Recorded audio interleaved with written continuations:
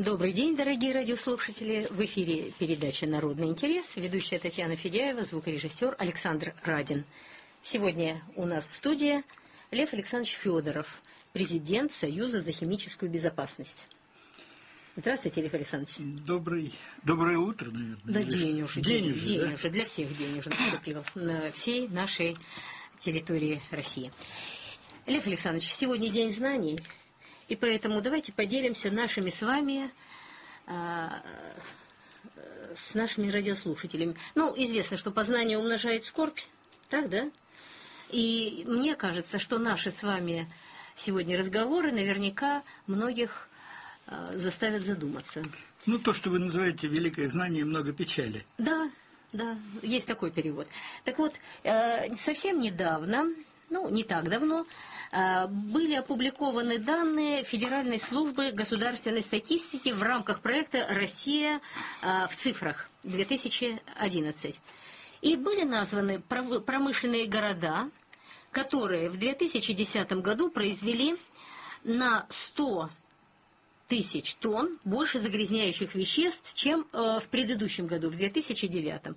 Среди самых неблагополучных в экологическом плане первое место с большим отрывом занимает город Норильск. А дальше вот их 10 городов, и хотелось бы сегодня о них поговорить и о том, что вообще делается и можно ли сделать. Итак, самые, к сожалению, увы, живут наши соотечественники, там самые грязные города. Десятое место в этой позорной десятке занимает город Челябинск. Дальше, а, следующий город. Ну, Челябинск, э, топливная энергетика, коксохим, электродная промышленность, металлургические заводы. Дальше, Уфа, Красноярск, Омск, Ангарск. Далее, Магнитогорск, где господин Рашников миллиардер, да? Четвертое место Липецк, где господин Лисин, ми- миллиардер, недавно купил самое большое, самое лучшее поместье в Великобритании. Следующий, а, третье место Новокузнецк. Ну, тоже, прямо скажем, э, интересный город. На втором месте Череповец, где господин Мордашов, да, Северсталь. И на первом, опять же, с большим отрывом, город а, Норильск э, где господин Потанин, тоже все миллиардеры. Прокомментируем, Лев Александрович. Ну, давайте. С чего? С Новокузнецка до Давайте начнем. Нет, давайте уж начнем с Челябинска и Магнитогорска. Ну, это... Ну, что? Магнитогорск – это город Металлургов? сталинской эпохи. Там металлургическая промышленность начинала, и, и они никогда ничего не ставили, э, никаких очистных сооружений. И до сих пор успешно не ставят их. Так что, э, ну, просто наследуем ту эпоху. Вот, Лев Александрович, вы понимаете, когда мы наследовали а, с 30 лет, 40 лет назад, была иллюзия, что вот это наследство, да, нам здесь сегодня жить плохо, но то, что зарабатывается, возможно, оно пойдет в этот общий котел, и, может быть, где-то мои дети, внуки получат. А сейчас никаких иллюзий. Ну, вы произносите слово «зарабатывается». Кем зарабатывается? Ну, будем считать, что тогда была... а, Тогда была бюрократия, Бюрократия, наша, да. советская бюрократия. Ну, она ведь не владела имуществом страны, она им управляла. Управляла. А сейчас часть из той бюрократии перешла в другую категорию, она у владеет этим самым имуществом, и я даже не понимаю, э, вернее, они не понимают, зачем им тратиться на э, очистные сооружения, если у них все в порядке, лично. Ну вот я вам э, назвал Новокузнецк. Иду я по Новокузнецку. Вонь несусветная. Это алюминиевый завод. Это Дерипаска?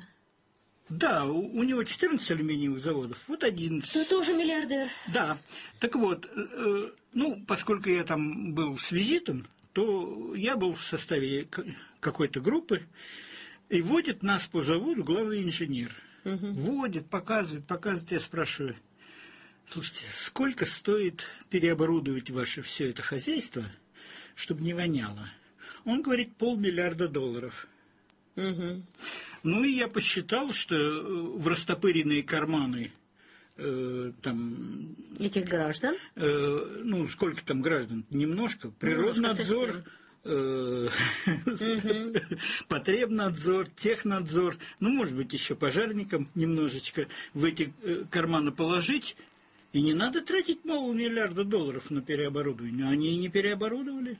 Мгм.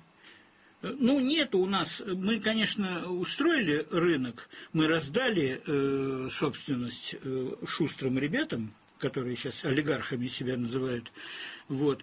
Но ответственности перед гражданами у нас с их стороны С их нет. стороны нет. Нет. Просто в принципе нет. Ну вот что делать? Я всегда за- задаю один и тот же вопрос. Понятно, что жить так дальше нельзя. Ну, смертность зашкаливает. Вот мы с вами сейчас перед эфиром разговаривали, и вы говорите, вот буквально сегодня получили новую информацию, но она ни- нисколько она не новая на самом деле, что рождаемость в этих регионах значительно ниже, а, смертность выше, ну то есть идет депопуляция. Идет депопуляция. Ну, Ну, попросту говоря, вымирание. Уж давайте переведем на э, язык родных осин. раз вы назвали Дерипаску, Да. Значит, у него 14 алюминиевых заводов, которые стране не нужны. Вот давайте сразу договоримся, что они стране не нужны. Страна э, обходится без алюминия, потому что промышленности почти нет. Нет. Нет? Нет. В этом все дело, что технический прогресс за последние полвека выстроился так, что все алюминиевые заводы, ради которых мы э, напрягались, Мгм. ушли в прошлое. Самолеты теперь э, постепенно перешли на титан. А вот сейчас э, было авиасалон какой-то. Макс. Макс. Мгм. Стоит гигантский э, самолет. И вот корреспондент бает нам.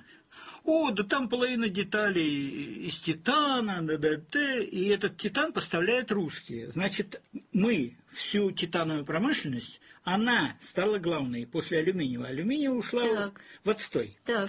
Вот. А дальше, э, между делом, ну, титановые детали делают русские, а вообще-то половина веса этого самолета – это стеклопластик. Перевожу на русский язык. Что и титан уходит в прошлое. Мы переходим на пластик. Мгм. Стало быть, когда вы залили, э, у нас же станции-то, электростанции ведь не горные, это там, ну, рек горная в ущелье, а у нас равнинные. Значит, вы заливаете равнину там, сям, везде. Все залили, сделали эти- электричество получили, сделали э, алюминиевые заводы, и все это ни к чему. Вот что плохо. Что у нас Нет, начальство... подождите, подождите, ни к чему. Ну, Дерипаски-то хорошо, миллиардер. Нет, Дерипаски прекрасно, я рад за эту Дерипаску. Мгм. Ну, вообще-то говоря, э, вот заболеваемость и смертность в городах, где стоят заводы алюминиевые, принадлежащие Дерипаске, э, такая, что лучше э, самое, Не знать. не, не знать для спокойствия. Э, Так плохо дело. Значит, и тут дело, вы ведь сейчас хотите сказать, что вот, ах, этот бизнес хычный. Нет, нет, вот как раз не А я вам не сразу скажу, что сказать. это два, что начальство у нас как было дерьмовое, так и осталось дерьмовым. Потому что они могли бы заставить эту самую Дерипаску поставить очистные сооружения. Вот хорошо, что надо сделать, чтобы это начальство заставить э, сделать такие э, мероприятия? Ну, я же не политик. Если бы Ага. я, я Немцов был, я бы вам тут лекцию прочел. Я не, не Немцов, я эколог. Мгм. Поэтому мне грустно от всего этого. А что делать, я не знаю. Просто не знаю. Я знаю, что э, э, у нас, ну как бы это помягче сказать, вся техническая сторона дела, э, в общем, в разрушенном состоянии. Ну вот, скажем, если бы за день до того, как Саяно-Шушенская ГЭС рухнула, э, кто-то вам бы сказал, что вот завтра рухнет Саяно-Шушенская ГЭС, вы бы поверили в это? Ну, вы знаете что, я бы поверила. Я бы поверила. 99,9% э, населения никогда бы не поверили. Мы верили в надежность э, вот тех советских сооружений. Вы знаете что? Нет, э, давно уже известно, что э, ресурс многие вырабатывается. Даже сегодня э, те, кто стоит у руля, говорят, ух, какое нам плохое наследство досталось с советских времен. Ребята, где они те советские Нет, времена 20 уже? лет прошло. Уже 20 лет прошло, У меня уже во дворе, я уже давно вижу только людей, родившихся за за последние Да. 20 лет. И более того, вы видите людей, родившихся не в том дворе, который, э, Вот-вот. в котором вы живете. Да, Далеко, за да. тысячи километров от Тут этого сурово. двора.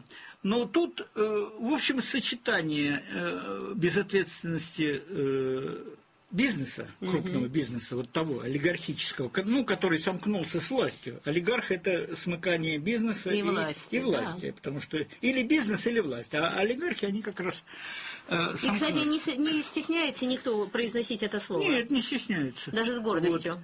Но и власть-то у нас э, не венец творения. Вот где беда-то. Вы поймите, за последние 10 лет что произошло? Путин, когда пришел к власти, он отменил экологию. Отменил. Мгм. За ненадобностью. За ненадобностью. У него экологическое ведомство стало называться Министерство природных ресурсов. Раньше оно Министерство геологии называлось. Это одно и то же. Вот. И находится в том же здании. Вот. А несколько лет назад, наконец, им пришлось слово геология присобачить к названию.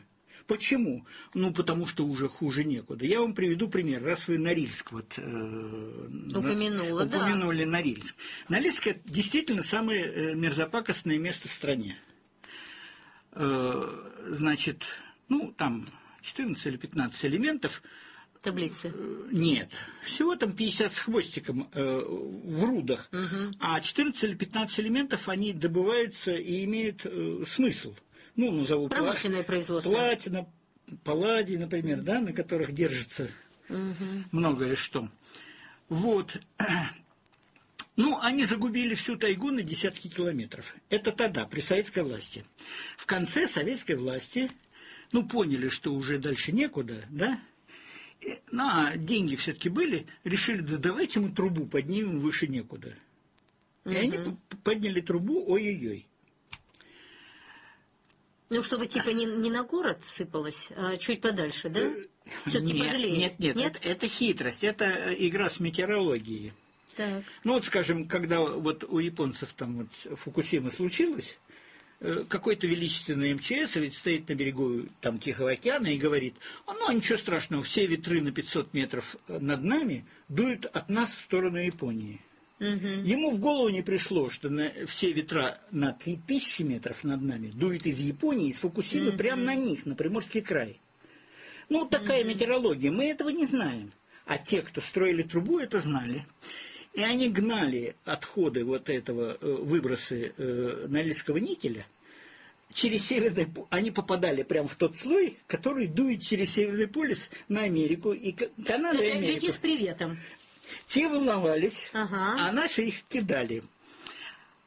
А сейчас все-таки другое время, и вот в этих 2000-х годах, ну что у нас пере, э, это, пере, чего-то, Стройка, стрелка, э, вот что-то с ними у Да. нас, э, вот, перезагрузка. перезагрузка. Вот. такая, да. И они решили, давайте мы э, обрежем кусок трубы. Пусть на своих падает, на И Америку не начало снова до своих.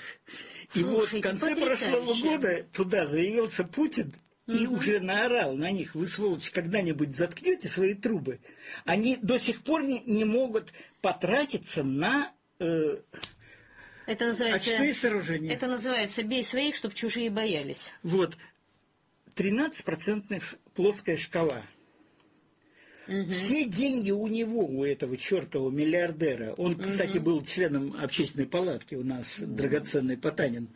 Э, Чем меня сильно э, сам, повеселил. Да, да, да, да. Заботник наш. И они не находят денег, чтобы заткнуть э, очистные сооружения, вот, э, ну, трубы с очистными сооружениями. Ну, это стыдуха. Понимаете, это обсуждать э, бессмысленно. На, на рациональном уровне обсуждать бессмысленно. Я думаю, что Потанин не слушает наши передачи.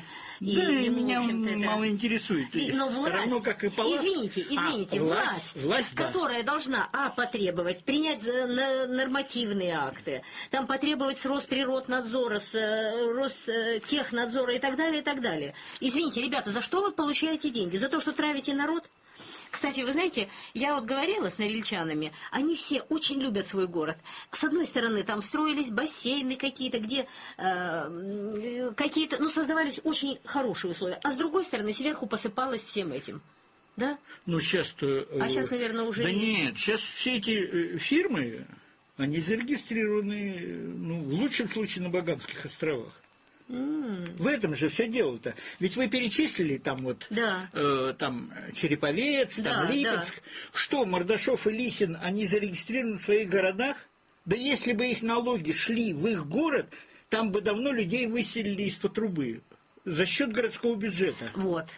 Вот видите, вот мы как раз приходим опять к власти. Извините, если э, предприятие находится на этой территории, причем здесь Багамские острова, извините, причем здесь офшоры, ну что вы машете? Э, а я вам хочу сказать, Ну. что это сознательная политика власти нашей страны. Значит, Америка позволила 10% промышленности э, в офшорах регистрироваться, не больше, а у нас 30%. Мгм. И самые вот эти ребята, самые жирные куски, Все там. там, все там. Поэтому как, э, ну как можно Череповец спасти, если э, э, этот самый э, Мордашов не... э, Он за- вовсе, вовсе не череповецкий. Не Череповецкий. Дорогие радиослушатели, мы работаем в прямом эфире. Это передача «Народный интерес», ведущая Татьяна Федяева, звукорежиссер Александр Радин. Сегодня у нас в студии работает доктор технических наук, Химических. и- химических. Ну, я думаю, что вы и к технике также причастны. Так, доктор химических наук, а, президент Союза за химическую безопасность Лев Александрович Федоров. Вы можете нам звонить. а, Телефон 629-0873, код Москвы 495. А кто захочет написать письмо, пожалуйста, 125-209, Москва, абонентский ящик 10. А, Передача «Народный интерес». Ну вот, Лев Александрович, а насколько, ну мы немножко о Норильске сказали, хотя я думаю, вы о нем можете, как Акын, говорить долго-долго. А хотелось бы поговорить еще о других городах и опять же о э, возможности, ну, вы уже сказали, что вы не политик, а эколог, вот о возможности экологам что-то сделать. Но прежде чем мы это продолжим, примем звонок. Пожалуйста, говорите, мы вас слушаем. Добрый день. Здравствуйте. Татьяна Александровна, Лев Александрович, великое вам спасибо за сегодняшнюю передачу. Это Людмила Николаевна из Краснодара. На таких людях, как вы, земля русская держится. Спасибо, Людмила Николаевна. Вы знаете, я вот хочу вам сказать, что я прочитала в газете, что сейчас где-то по данным независимых экспертов до 70-80% предприятий и компаний, территориально расположенных в России, на самом деле принадлежат различным иностранным структурам. Вот, допустим, две кипрские компании. Им принадлежит свыше 80% акций Магнитогорского металлургического комбината. Арзамасский машиностроительный завод, некогда гордость национальной России, точно так же принадлежит фирме. Она владеет, э, это, этот завод, это наша оборонка тоже иностранной фирме. И э, иностранная фирма расположена на Британских Виргинских островах.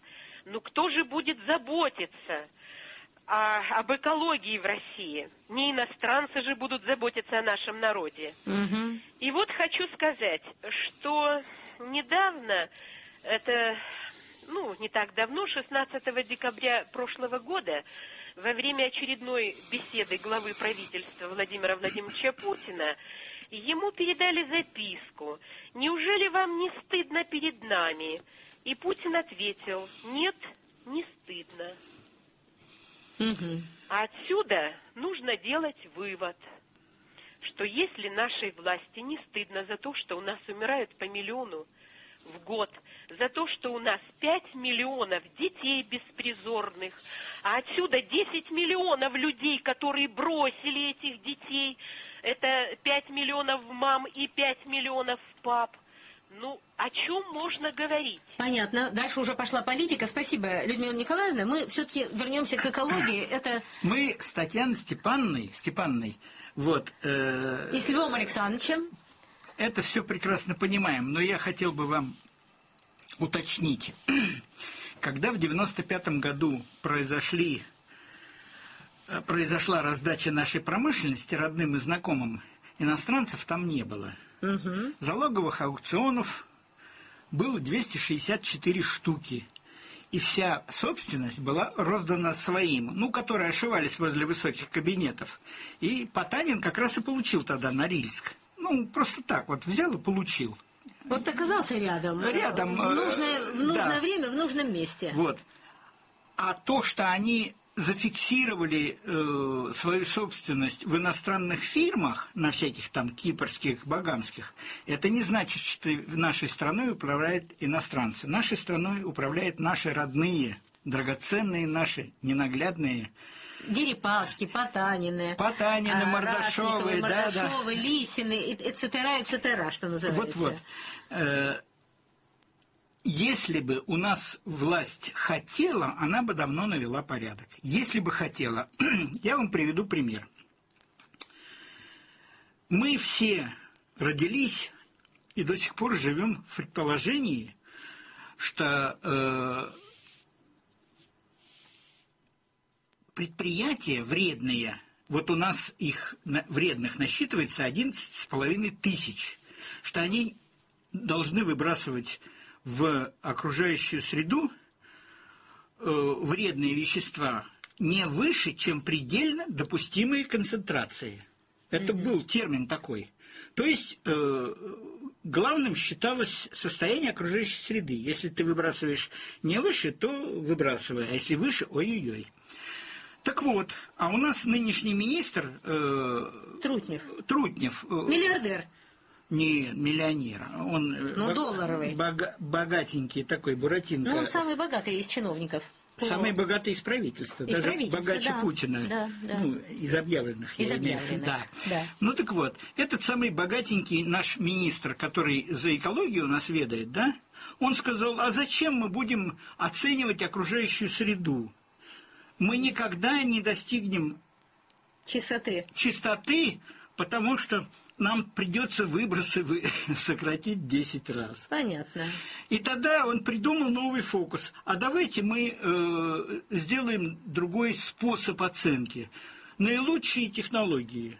И создадим план, переход на наилучшие технологии. И все, и вся страна, не торопясь, там, Пойдет. к 3000 году, глядишь, и перейдет. 11,5 тысяч предприятий на другие технологии перевести. Это ого занятие. Вот такой у нас министр. Ну, заботливый тоже. Чего он заботится об олигархах? Объясните мне. А, потому что он никогда в жизни э, о, о нас с вами не думал. Я не уверен, что он знает, что мы с вами существуем на свете. Да я думаю, что я уверена, что не знает. У нас звонок. Пожалуйста, говорите. И скажите, откуда вы? А, Здравствуйте. Здравствуйте. Я из Орла, Слушаем вас. Владислав Матвеев. Э, Лев Александрович, у меня такой вопрос. А Пластик, который в огромных количествах накопился на планете, он как-то будет утилизироваться? Есть химические технологии его уничтожения? Это первый вопрос. А второй, э, насколько сильные позиции занимает экологическая партия на политической карте нашей страны, и почему люди не голосуют за представителей экологической партии, хотя это, мне кажется, самое главное сейчас. Спасибо, Владислав. Очень интересный вопрос. Значит, начну с конца. Экологической партии у нас просто нет, поэтому не заблуждайтесь. Есть партия «Яблоко», это политическая партия, куда экологи несколько лет назад вошли и образовали фракцию. Вот. И в этом смысле мне партия «Яблоко» ближе, потому что там хоть экологические кусочки есть во главе с, А я- с Яблоковым. да, да. Яблоки, есть Яблоков Алексей Владимирович. Вот. Теперь первая часть, первый вопрос. Пластик. Пластик. Значит, пластик, естественно, когда его создавали, никому в голову не э, приходило думать о его э, последующей утилизации. Вот. А сейчас дела действительно плохи. Ну, на Западе кто-то изобрел уже пластик биоразлагаемый, который там в течение года или там, может быть, и длиннее на свалках разлагается. А так пластик, конечно, летает по планете, по морям, океанам. Говорят, акулы бедные глотают, и э, им плохо от этого становится. Вот. Но, если честно, то перспективы я пока не вижу хорошей. Значит, вот только что, э, ну, не знаю, год или два назад начал работать э, новый, современный, европейский весь из себя э, завод по производству пластика для бутылок э, пивных. Это город Солнечногорск. Это Под Москвой. Под Москвой. Под так. Москвой. Город Солнечногорск. Построили.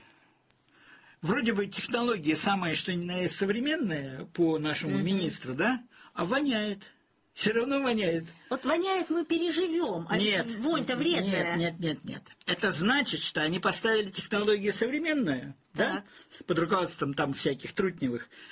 А очистных они не поставили. А чтобы дешевле было, да? Ну, конечно. А очистные – это 40% э, цены всего Нет, предприятия. э, наш слушатель задал вопрос другой. Куда девать этот пластик? Не знаю, куда. Ну вот вы, как химик, что бы предложили? Но его, кроме как на помойку, девать некуда. Все Ну равно... из него вообще ничего нельзя сделать, Нет. переработать. На Западе, вот если вы живете на Западе, у вас во дворе стоит э, одно, одна, один бак. На нем написано бумага, на втором написано ме- Это не только на металл. Западе. Я вот была в Китае, и там везде стоят уже эти Эко, баки. эко разволновалась. В Да. Китае она была. Ну и что? А ничего. Теперь уже вы говорите А на у Западе меня, и на Востоке. у меня во дворе бака с надписью «Пластик нету». А раз нету, я вынужден бросать пластик в общую кучу. Вот где беда-то. Так это, э, это к Лужкову Юрию Михайловичу надо? Ну, Лужкова уже нет. Все, а, нет, э, ну теперь к нынешнему. Это вопрос организации жизни. А так, если бы пластик собрать отдельно, его можно было бы переработать, потому что в том самом Солнечногорске, рядом вот с новым предприятием, построили другое предприятие. Какое? Тоже, тоже тайком и тоже без очистных сооружений, по переработке старого пластика. Угу. Ну, значит, все-таки построили. Конечно. Так опять нужна организация жизни, э, чтобы этот вопрос решить. Э, Чтобы начальство с мозгами было. Ой. Ну где, где же взять? Где мозги взять?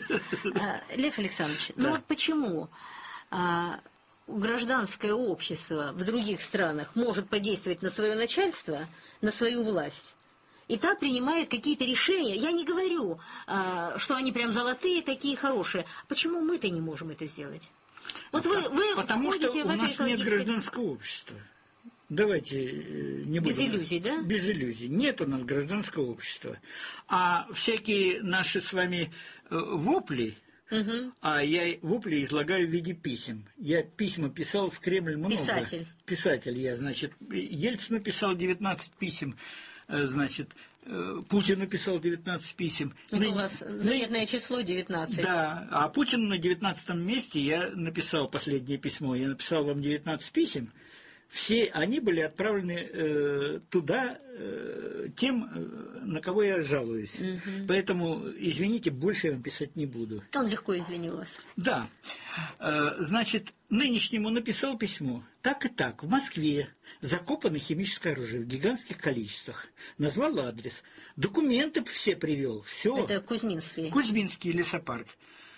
И что вы думаете? Они скинули это в прокуратуру, прокуратура скинула в Мо- Московскую городскую прокуратуру, городская, в- естественно, в районную Кузьминскую Ага, прокуратуру. в муниципалитет. Э, Да. Разбирайтесь теперь. Кузьминская прокуратура выслушала меня. Ага. Она сначала, когда меня слушала, она говорит, ну, документов у вас нет, и в этот момент я вынул ей все документы и доказал, что все так оно и, И есть. что не просто э, так, а И иприт. Только я вышел из, из их здания, они перекинули это письмо наше, мое, в соседнюю, Люблинскую прокуратуру.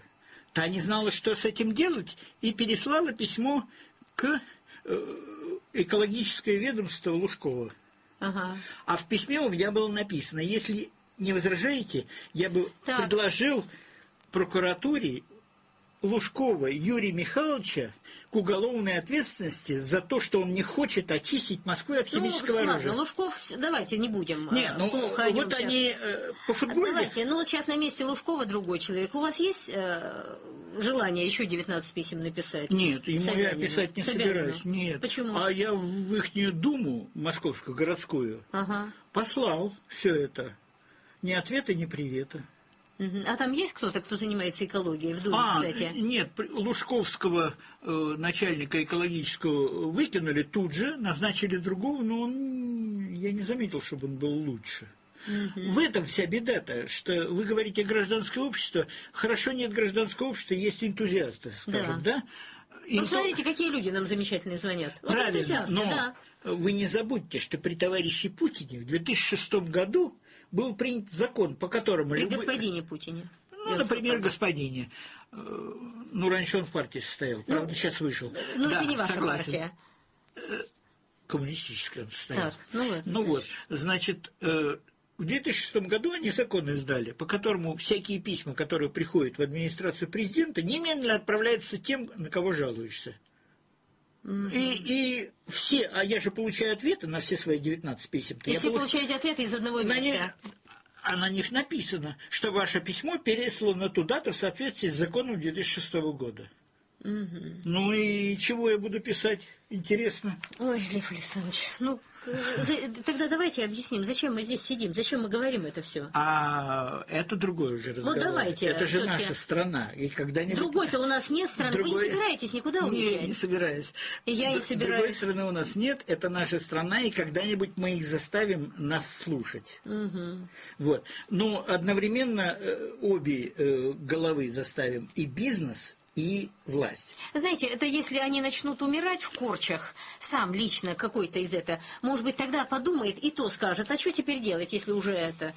А а потом дети будут жить где-нибудь э, за рубежом, внуки тем более. Что было в этой Почему? стране? Ду- Почему нет? Путин себе дачку построил на берегу Черного моря. Ну, это что, одна единственная, что ли? Нет. Ну, это ж не А единственная. зачем он ее строил тогда?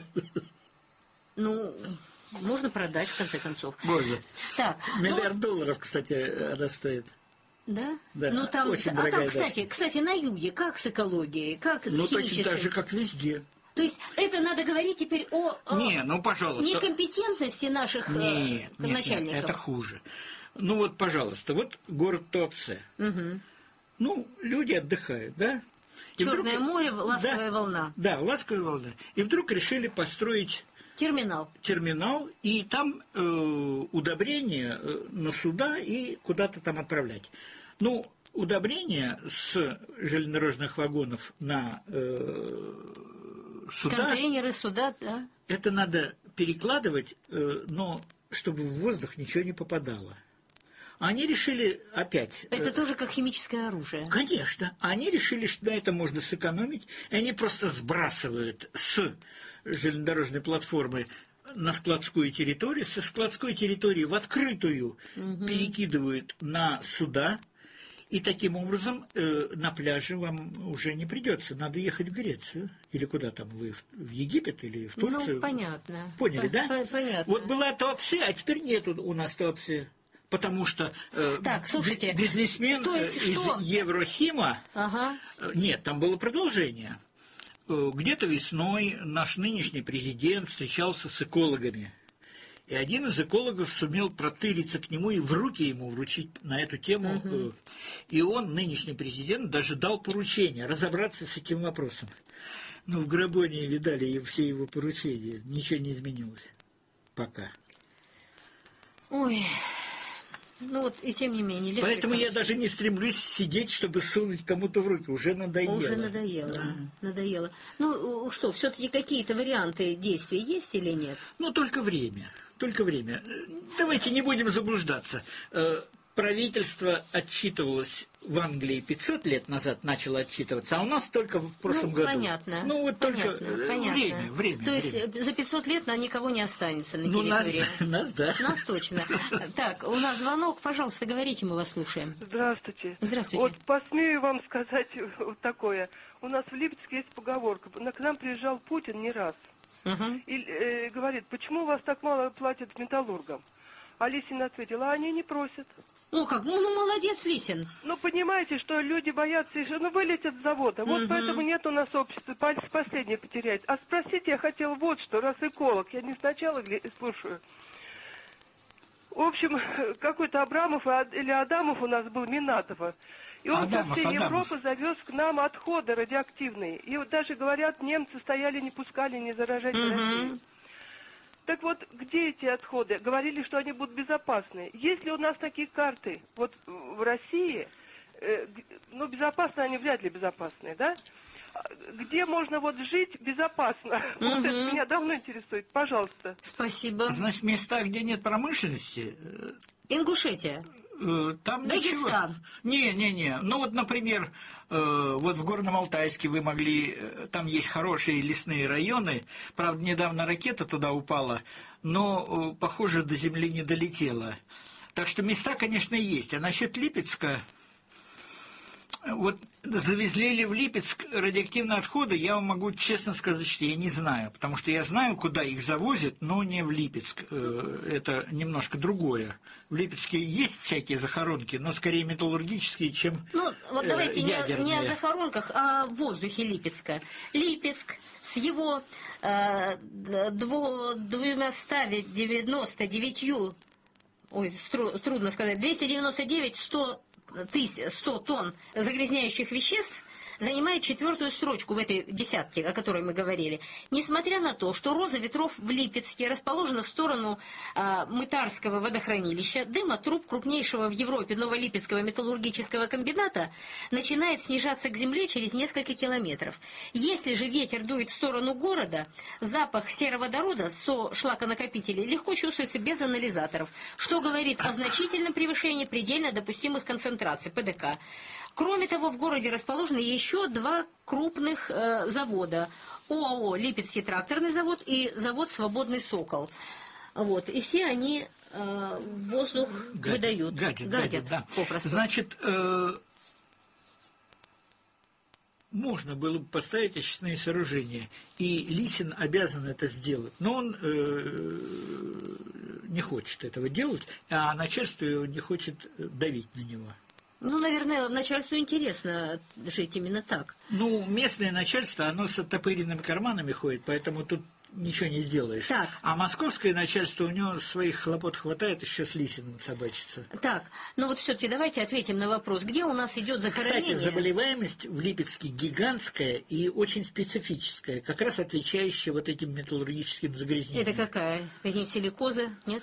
Нет, не только, не в этом же дело. Э, Всякие онкологические заболевания, превышение э, над среднероссийскими, э, очень многие То заболевания. есть мы расплачиваемся своим здоровьем за чьи-то карманы. Конечно, И чем хуже у нас здоровье, чем толще этот карман. конечно. А вы посмотрите, почему нам по телевизору все время сейчас рассказывают, ах, у, у правительства не хватает денег на, э, Здравоохранение. на пенсии. На пенсии. Так. Почему?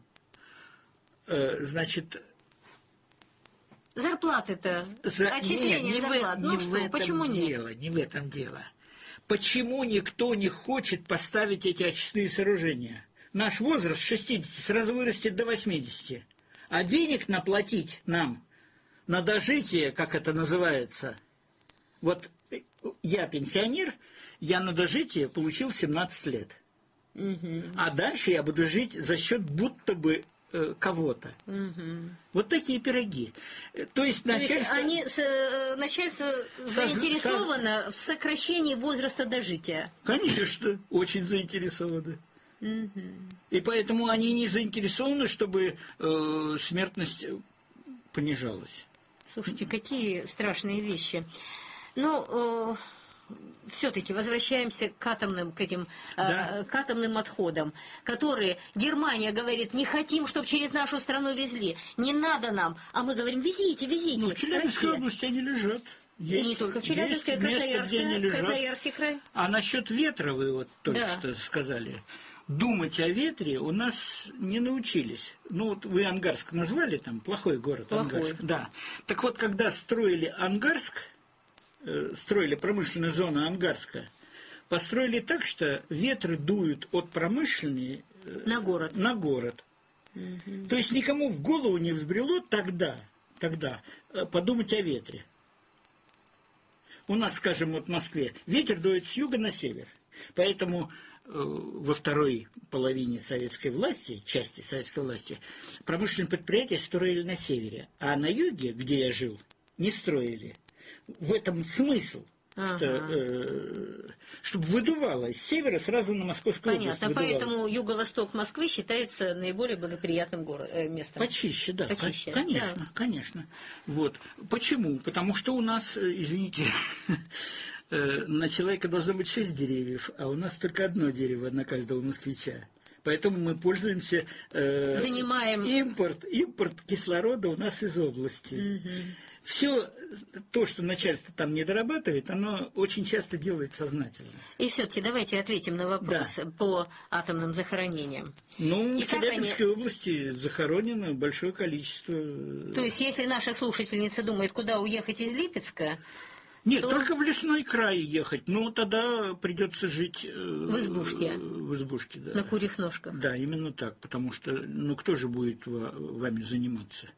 Там, где есть асфальтовая дорога, э, или, или может быть, чуть похуже, там и, и промышленное предприятие где-нибудь рядышком и так далее. Ну вот вы сказали о Липецке. Все-таки еще, еще у нас очень э, проблемный город Череповец. На втором месте в этом э, страшном списке Череповец э, с огромным количеством загряз- загрязняющих веществ в воздухе. Многолетние наблюдения за состоянием воздуха в Череповце свидетельствуют, что все районы города испытывают все абсолютно техногенную нагрузку. Ситуация усугубляется весной и осенью, когда неблагоприятные условия. В Череповце предприятия черной металлургии химического комплекса «Северсталь», «Северметис», «Аммофос» и «Череповецкий азот». Полный комплект. Там Выбирай. химия, да. И самое главное, это Череповецкий металлургический комбинат. Значит, э, там дела хуже некуда. И пять лет назад какая-то женщина взяла и написала, ну, она живет в санитарной зоне.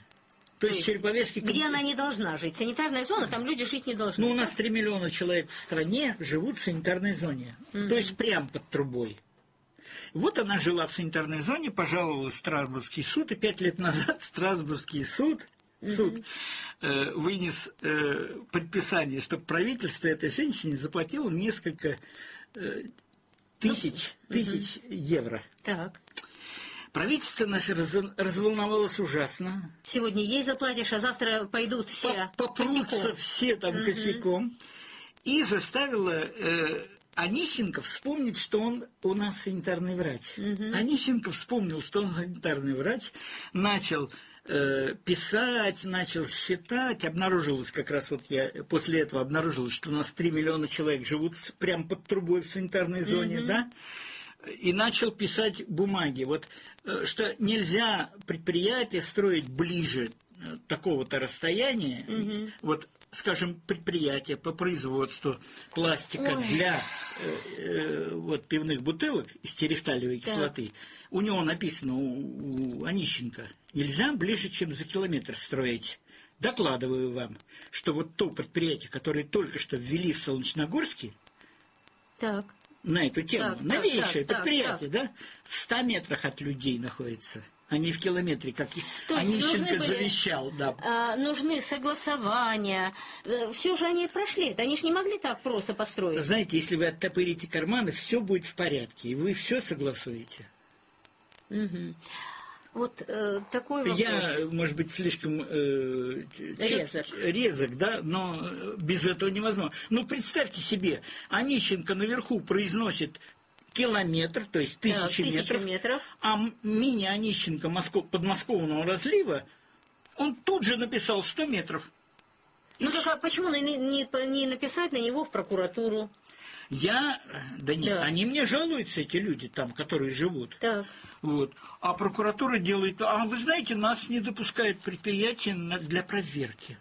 А, сейчас же сказали, не кошмарить бизнес. Не кошмарить Не бизнес. кошмарить бизнес. И три года не лезть если, туда. Если вы прокурора занесли чуть-чуть, Ага. то он, естественно... Не будет кошмарить. Не будет Ни казино не будет кошмарить, не не, будет кошмарит. кошмарить э, эти, э, И тем всё. более экология. Какая-то экология.